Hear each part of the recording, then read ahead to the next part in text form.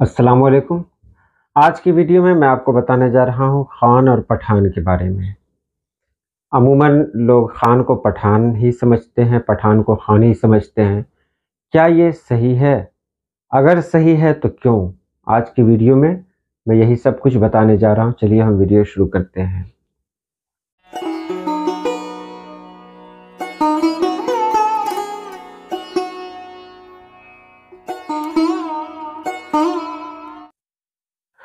پہلے ہم خان کے بارے میں بات کرتے ہیں۔ خان لفظ کی جو تحقیق ہے، لفظ کی تحقیق۔ اس کے بارے میں کیا ہے؟ کیا کیا باتیں سامنے آتی ہیں؟ وہ جان لیں۔ پہلے یہ جان لیتے ہیں کہ خان کا جو استعمال ہے، وہ مشرقی ممالک، جیسے افغانستان، پاکستان، ایران، ہندوستان اور ترکی میں بہت زیادہ ہوتا ہے۔ بہت سارے علماء ہیں اور مورخین ہیں۔ انہوں نے اس کے بارے میں بہت کچھ لکھا، لیکن کسی ایک کی بات کو قبول کرنا بہت مشکل ہے۔ بہت سارے لوگوں نے لکھا خان کے بارے میں، لیکن سب لوگوں نے الگ الگ باتیں لکھی ہیں۔ کسی ایک نتیجے پر لوگ نہیں آئے ہیں۔ بہرحال یہاں دیکھیے، نفیس ڈکشنری میں کیا لکھتے ہیں؟ نفیس ڈکشنری کے جو مولف ہیں، وہ لکھتے ہیں کہ خان ترک زبان کا لفظ ہے اور چین، ترکستان و تاتارستان کے بادشاہوں کا لقب ہے، جس کے معنی امیر، رئیس اور بیگ کے ہیں۔ یہ نفیسی ڈکشنری میں ہے۔ نور اللغات میں خان کی جو تعریف بیان کی گئی ہے وہ کیا ہے؟ یہ لفظ قدیم ایام میں ترکستان کے بادشاہوں کا لقب تھا، لیکن موجودہ زمانے میں عمراؤ روسا کے مابین مشہور ہے۔ امریکی دائرت المعارف کے مطابق کیا ہے؟ خان ابتدائی ادوار میں ترکستان میں کارواں یا قافلے کے سربراہ کو کہتے تھے۔ پھر اس کے بعد مشرقی ایشیائی ممالک کے سربراہان کے لیے یہ نام استعمال ہونے لگا۔ تو یہ بہت سارے لوگ ہیں جو اس کے بارے میں الگ الگ کہتے ہیں۔ اب یہ جان لیں کہ خان صد فیصد ترکوں کا لقب ہے۔ یہ تو اس میں کوئی شک نہیں ہے کہ ترکوں کا ہی لقب ہے خان۔ تاریخ پر غور کریں تو خان کا جو لفظ ہے، وہ سب سے پہلے ترک بن یافس کی پانچویں پشت پر یعنی باقوی خان کے نام میں ملتا ہے۔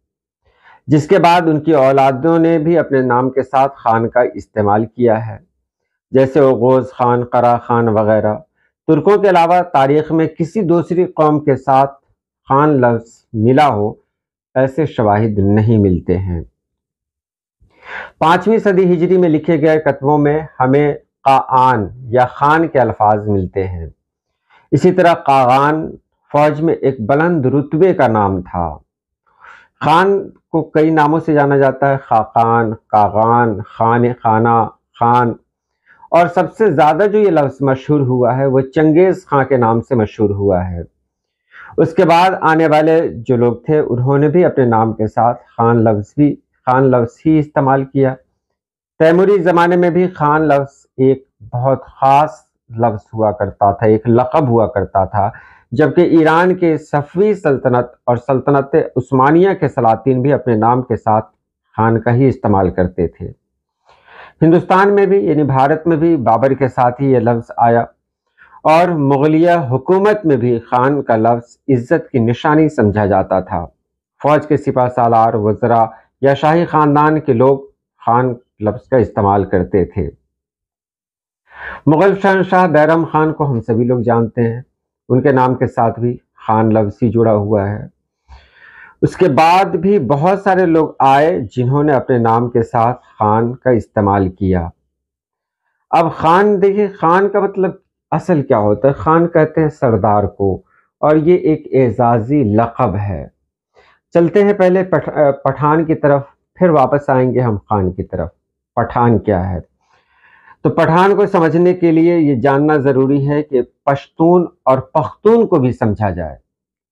پشتون اور پختون۔ ہمارے یہاں تو نہیں، لیکن پاکستان میں اس پشتون اور پختون لفظ سے سب لوگ واقف ہیں۔ ہمارے یہاں نہیں۔ پشتون لفظ کا پہلے جائزہ لیتے ہیں۔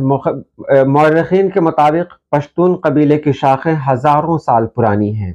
پشتونوں کی ابتدا کے بارے میں بہت ساری دلیلیں دی گئی ہیں، بہت سارے مباحثے بھی ہوئے، لیکن لوگ ایک جگہ پر نہیں آئے۔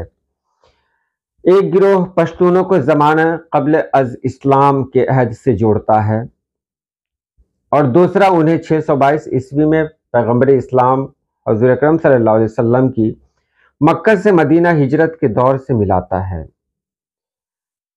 پہلا جو عقیدہ ہے، اس سے بہت سارے لوگ متفق ہیں اور کچھ لوگ پہلے خود کو پشتون کہتے ہیں، بعد میں مسلمان کہتے ہیں۔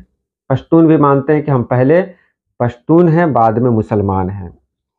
بہرحال، ایک بات تو ہے جہاں پر سب لوگ متفق ہیں، وہ یہ ہے کہ پشتون یا پختون کا تصور افغان سے بھی بہت پرانا ہے۔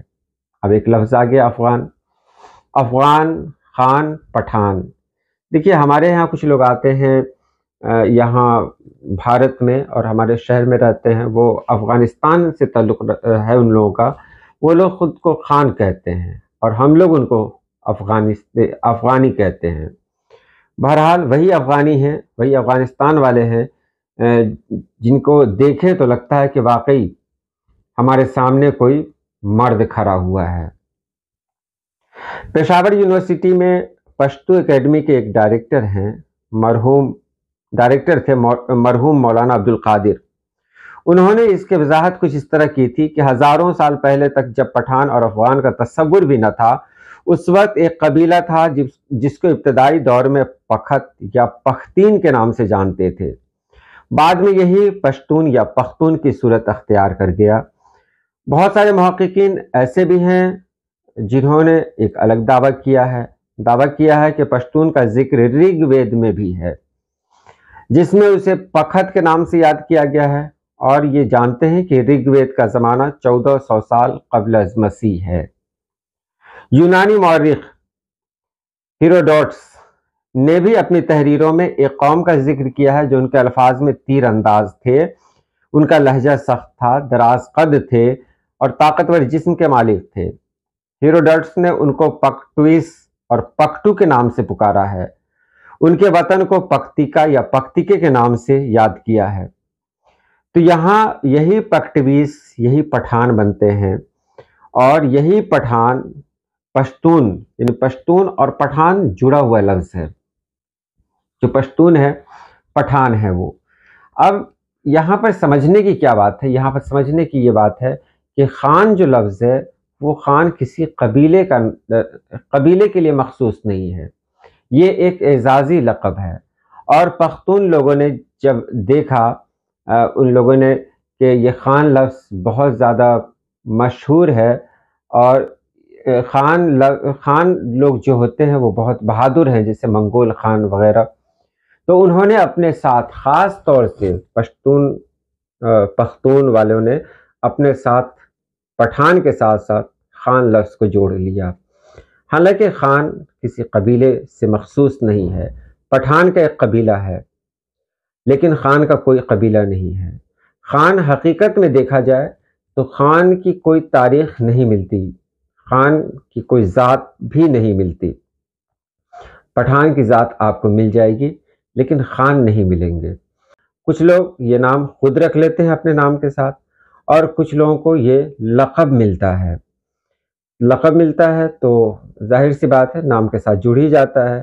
تو کسی ایک کو اگر لقب مل گیا تو ان کی جو اولادیں ہوئیں، وہ سب خان نام سے ہی مشہور ہوئیں۔ امید ہے آپ نے سمجھ لیا ہوگا۔ آج کے لیے اتنا ہی۔ اللہ پاک آپ سبھی لوگوں کو خوش رکھے، آباد رکھے۔ اللہ حافظ۔